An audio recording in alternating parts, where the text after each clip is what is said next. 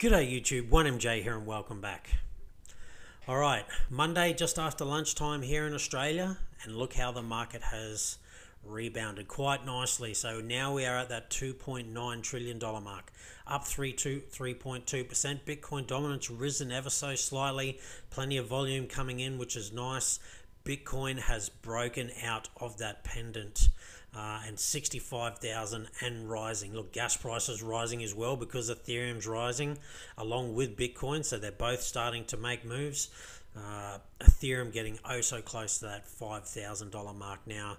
Uh, and Bitcoin looking quite nice. I mean, look, it's you know plenty of green there. Still some reds as well. There's always you know uh, a little bit of red somewhere in the market, and vice versa. Where when there's usually a whole lot of uh, red in the market, there's probably some green somewhere.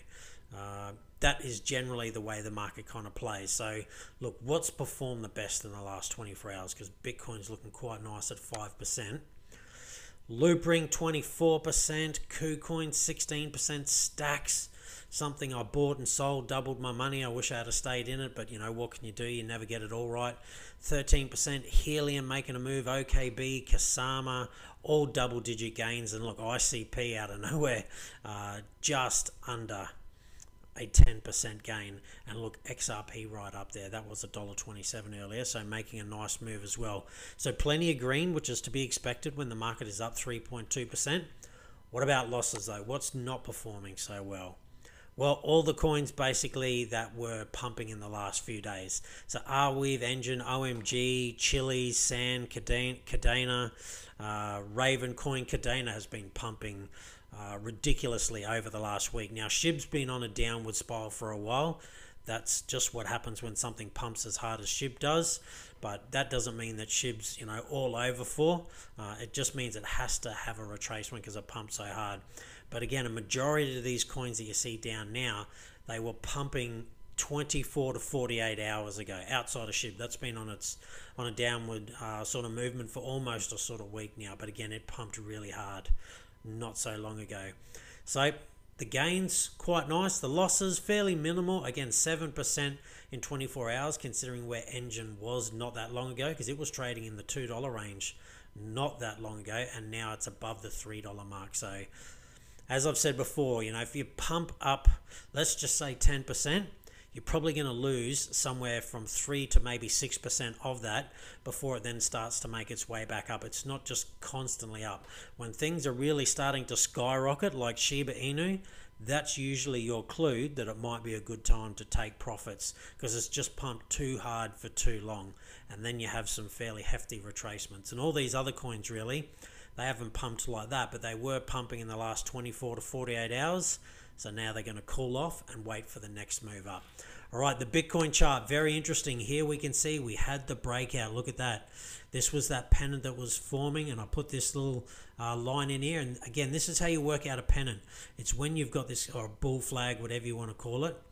All you do is take a line from the bottom of where the move started to where it topped out. And once you've done that, then you just got to grab this little line here and take it over to where you think it's going to break out and it was around about there. And so at the moment it's looking like bitcoin should be heading towards the $88000 mark. Now there's no guarantees in life. Just because you put some lines on a on a chart doesn't mean it's going to happen, but quite often that's how this plays out. It won't simply be straight up there to it, it's probably going to be some volatility, but most people would be expecting Bitcoin to get to around about the $88,000 level in the not too distant future. How long that will take, that's the next question. And like I said, I'm not going to be surprised if we have a retracement somewhere between 70 and 85,000. Now, originally I was thinking we could possibly come back down into these levels here. I just I don't think that's going to happen. Possible, but I'm thinking it's now more likely that we're probably going to retrace to down around about here. I think there's a lot of support now around that kind of $61,000, $60,000 level in here. So any heavy retracement we have, and maybe it's before 88,000, maybe it's up at around about 100,000, I think we're probably going to come down to around about 60,000. Now, the only way I see it going below 60,000 and definitely below sort of that $50,000 mark is if once we get up to wherever it is, again, maybe 100,000, and we go into a true bear market. Then we're definitely going to go below. Well, not definitely. I don't give you financial advice, but I think 60,000 uh, will not be the low. If a 100,000 is the high, we're probably going down into the teens. I'd say sort of 12 to 15,000, maybe even sort of, yeah, 12 to 15 actually. I think that's where the uh, cycle low would be. But that's based on, you know, sort of a 100,000 ish, maybe even again 88,000, 90,000 being the top. I think you could definitely see Bitcoin down into maybe even lower than 10k.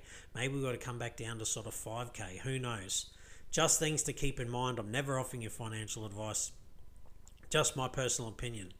But here's some very interesting information from Tech Dev over on Twitter. So he's mapped out these bull cycles. Now, look at this. Usually, Bitcoin in a bull cycle will come back down and retest the 1.272 mark. Did it in 2013, did it 2017. Look what we've done in 2021.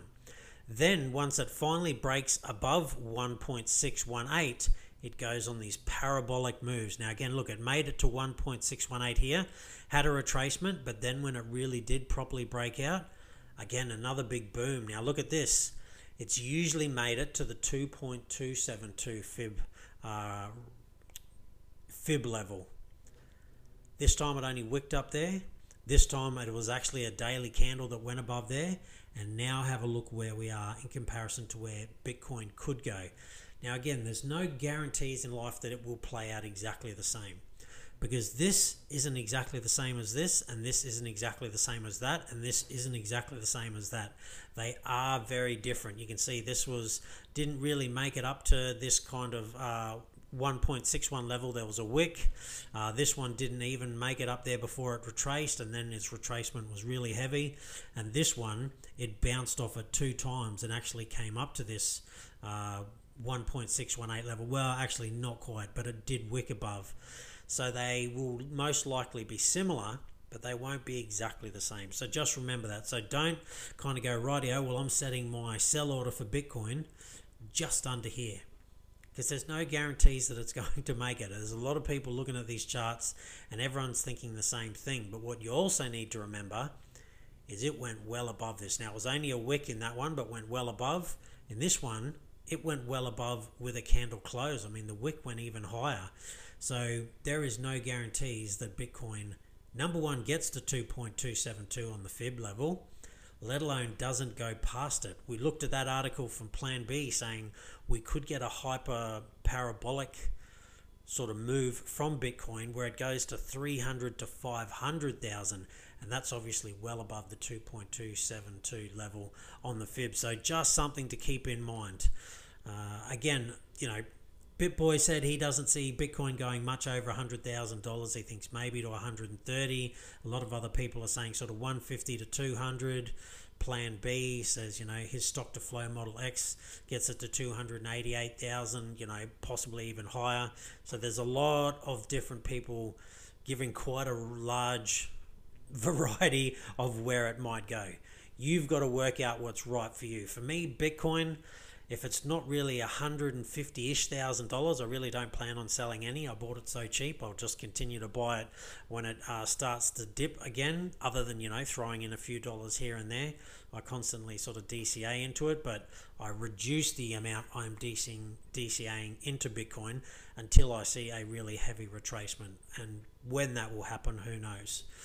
But very very interesting that this is where we are around that sixty thousand dollar level, and if history is going to play out again, then we're coming up to around this level 2.272, which has it at nearly $200,000.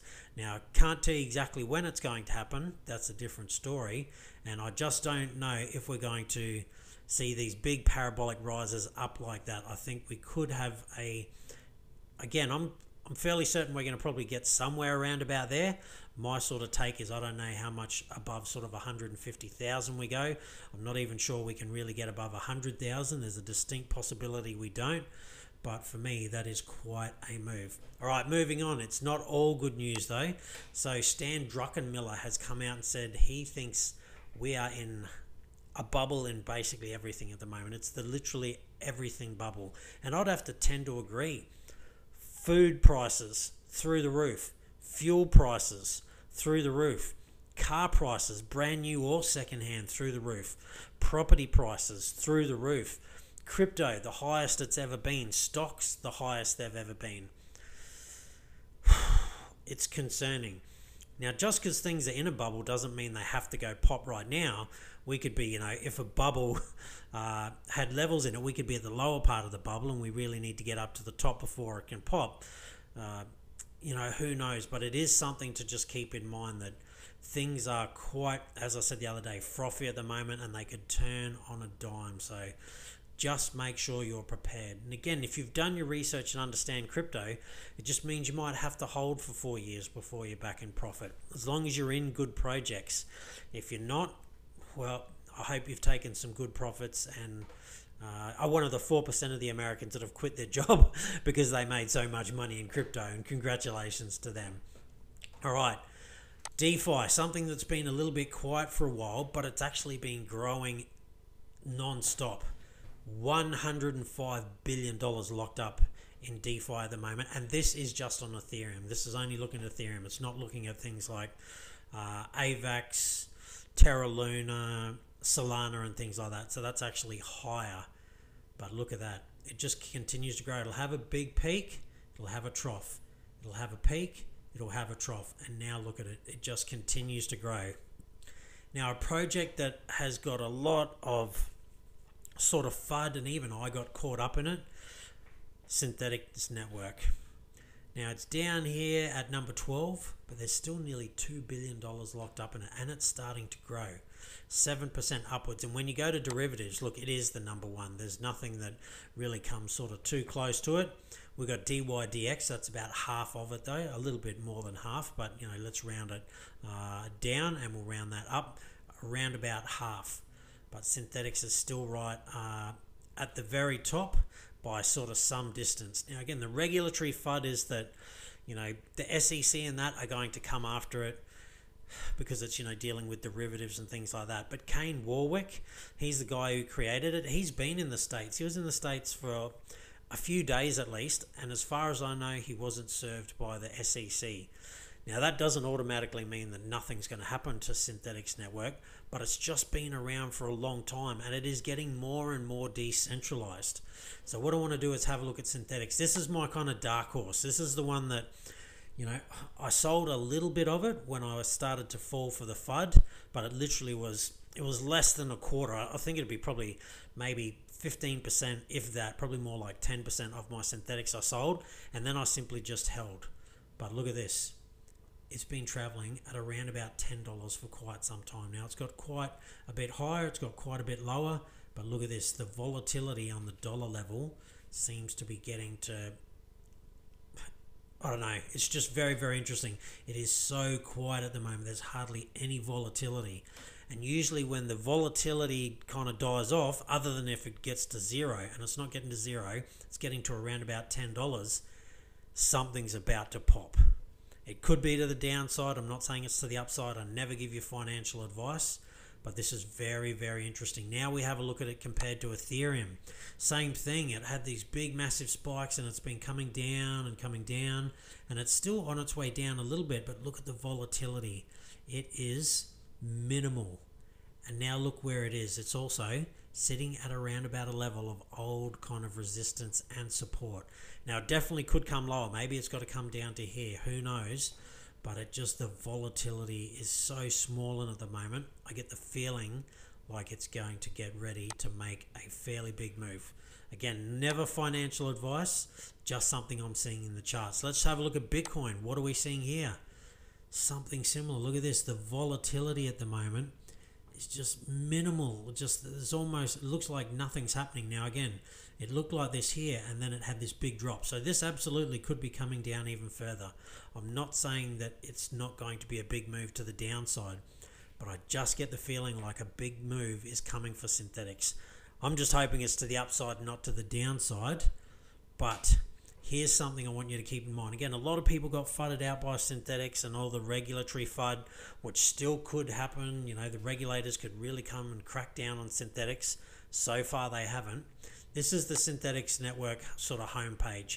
You come here and you stake your Synthetix, and what happens is if Synthetix does well, goes up in value, you'll get SUSD plus some Synthetix tokens that you have to wait for a year to claim.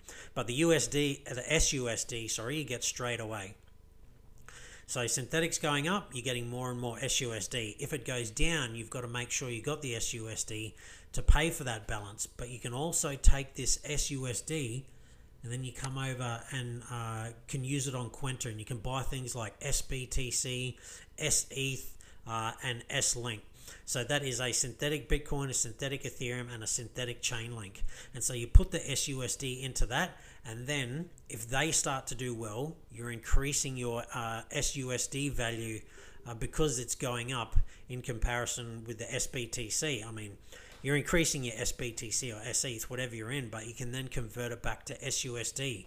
You can also take your SUSD, come over to the Lyra platform, uh, and do like options trading and things like that. You can also come over to the Thales and do something very, very similar. Now, what's good about Synthetix is as a staker of Synthetix, now, I don't know if you'll be able to get uh, all of these anymore because it's for people who have been staking, but you'll have to go and check. You get a free token drop for Thales, you get a free token drop for Kwenta, you get a three token drop for Lyra, and another project that's coming through uh, with Kane Warwick is Alien.